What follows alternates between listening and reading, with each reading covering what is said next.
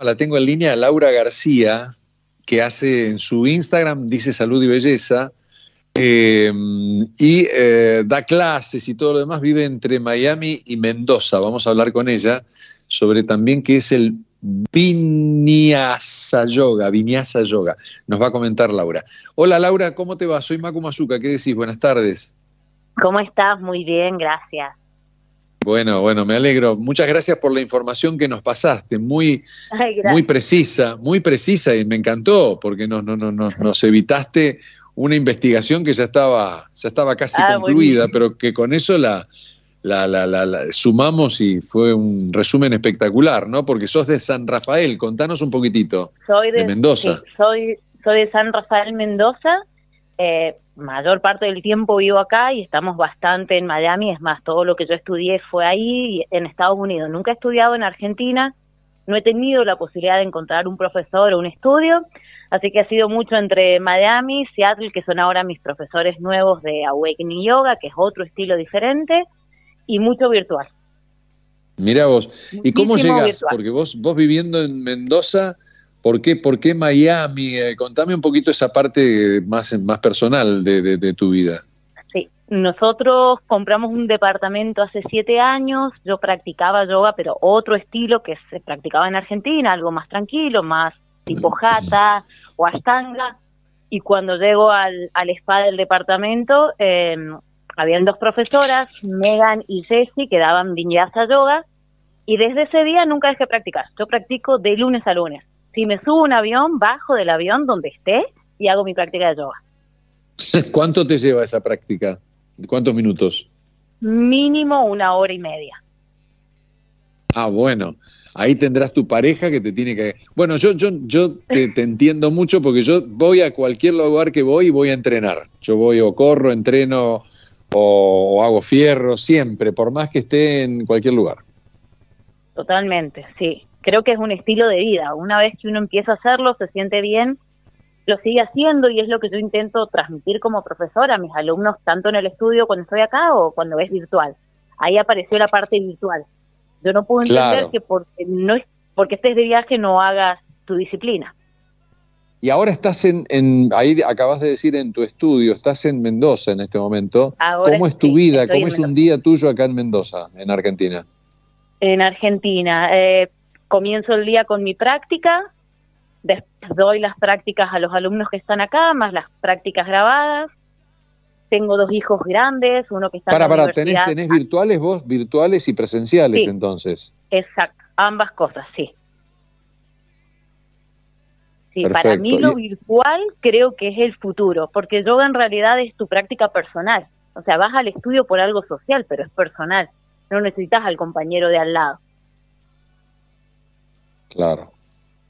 Para mí Eso es, interesante, lo que lo tenés que saber hacerlo, ¿no? Tenés que saber qué, hacer, porque si no tenés una profesora, un profesor que te vaya indicando, tenés que ser un experto en eso. Totalmente. Yo mi profesor de Awakening Yoga, que es de Seattle, recién lo conocí hace un mes.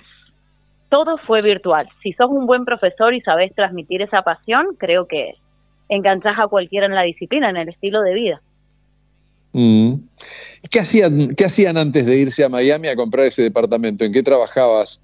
¿Y qué hacías vos tengo, este, con...? Tengo en, San Rafael, tengo un local de ropa que vendo, ¿se pueden decir las marcas o no? Sí, por supuesto. Eh, Jazmín Chevar y Ginebra.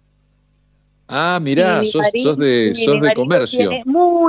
y mi marido tiene muchos negocios de todo tipo por acá, desde un shopping, un restaurante, empresas, Así que bueno, eso es lo que más nos ataca. Yo creo que si no, ah, ¿no tienen, ¿no tienen bodega, no tienen vinos? Es lo único que no se le ha ocurrido todavía. ah, es un gran empresario tu, tu marido entonces, está lleno de negocios. sí, le gusta emprender, más de lo que me gustaría porque tengo como ganas de volar. Mi hijo mayor estudia en Boston, o sea que podríamos irnos, pero bueno, por ahora no. Mirá vos, mirá vos, y teniendo en cuenta lo mal que está Argentina, ¿no? O sea, esas cosas, ¿no? Que a uno le, le tienta por ahí irse, ¿no? Sí, cuando ves cómo funciona todo afuera, eh, que la gente sonríe, que te dice good morning, que te salude, decir, ay, si no me conoce. Claro, porque están felices. Claro. Tal cual. ¿Qué se, Saben dónde van a estar mañana, nosotros no. Claro, claro. Contame lo que descubriste ahí en Miami, que es el Vinyasa Yoga. ¿Qué, ¿Qué, es y cuáles son las diferencias con el yoga tradicional? Que nos movemos continuamente a través de la respiración eh, de una forma dinámica y súper consciente. Eso después conmigo se transforma en Awakening Yoga, que es lo que estudio con Patrick Beats y Carlin. Eh, y la diferencia es que en este nuevo estilo de yoga, más moderno aún, trabajamos la movilidad. Ya no buscamos ser flexibles, sino móviles, que es a lo que nos vamos a llevar al resto de nuestra vida. Poder agacharnos, atarnos los cordones, ser móviles. La flexibilidad es algo muy que está visto en, la, en una foto en el Instagram, pero si no lo logramos nunca, la frustración es muy grande. A ver, danos de flexibilidad, hablame un poquito de eso, o sea, marca las diferencias de, lo que el cuerpo va aprendiendo y se va, y se va adaptando y si dejamos de hacerlo o no lo hacemos, las consecuencias vendrán. Eh, hablame un poquito, hacemos, haceme un poquitito una descripción más didáctica de, lo que acabas de decir. Hacemos un resumen. En cuanto a la flexibilidad, es algo que se hace de forma pasiva, no está controlada y es algo que vos adquirís, por ejemplo, después de una hora de práctica, decís, ay, ahora me siento más flexible, pero llegás a tu casa y la perdés la flexibilidad. Y no solo eso, el sistema nervioso desconecta la información, entonces estás tan flexible que puedes dar un paso y te puedes lesionar. En cambio, la movilidad es, un, es controlado, es activo, involucra tus músculos y tu conciencia y crea patrones de movimiento que vos los llevas a la vida. Cuando te sentás, cuando te agachás, cuando haces cualquier movimiento. Por ejemplo, en Awakening Yoga hacemos squat, que dirías como squat en un... es de gimnasio, no es de yoga, nosotros hacemos squat. O sea que la, vos vivís, o sea, eh, la práctica tuya es movilidad ahora, es para, es para, para estar consciente con el tema de la movilidad. Sí, totalmente. Es más, en mi práctica trato de decirles, no piensen en la flexibilidad. Usen la movilidad, usen los músculos. Porque alguien es muy flexible y quiere hacer un handstand desde la flexibilidad, pero después las piernas bailan en el aire. No uses la flexibilidad, usa la fuerza de tus cuádriceps, de tus glúteos posteriores, elevate el handstand y lo vas a sostener. Te hago una pregunta, ¿hacen complemento? Ahí hablaste de, fuerza. ¿Hacen complementos en gimnasio, esas cosas? ¿Lo recomendás a eso? Jamás he ido a un gimnasio, así que no puedo ni decir que sí ni que no. Nunca, nunca, nunca. Claro, o sea que la fuerza, la fuerza que haces vos la haces con tu propio peso. Sí. No tengo experiencia en el gimnasio, así que no, sería irresponsable hablar de eso. No, no, no, no es para que, es simplemente si, si era un complemento de lo que de lo que haces eh, o, de, o de la, práctica, que haces. No, la práctica Awakening Yoga es tan fuerte que creo que no necesitas el gimnasio. Podés ir al gimnasio porque te guste, pero no porque lo vayas a necesitar. Ahora, ¿qué conocimientos tenías vos de yoga cuando llegaste a Miami que encontraste esas dos profesoras? ¿Hasta ahí qué hacías? Y después de, y, decime los cambios que, bueno, eh, que nos estás explicando un poco a partir de ese, de ese encuentro hacía hatha yoga, que es como un yoga como más tranquilo, que sostenés las posturas. Y a mí lo que me gustó, como soy una persona súper apasionada, dinámica, que se levanta temprano, por ejemplo, cuando estoy en Miami, lo más temprano que pueda para, para hacer cosas, me gustó el que no era sostener las posturas, sino era algo fluido y que mi mente estaba tan concentrada en lo fluido que no estaba pensando, ay, tengo que ir a hacer esto, tengo que ir allá, tengo que ir acá. Mi mente está ahí, porque es tan fluido que tengo que estar concentrada. Claro.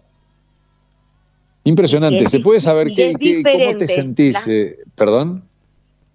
Y que es eh, lo, lo apasionante es que siempre es diferente la práctica, entonces no entras en modo automático.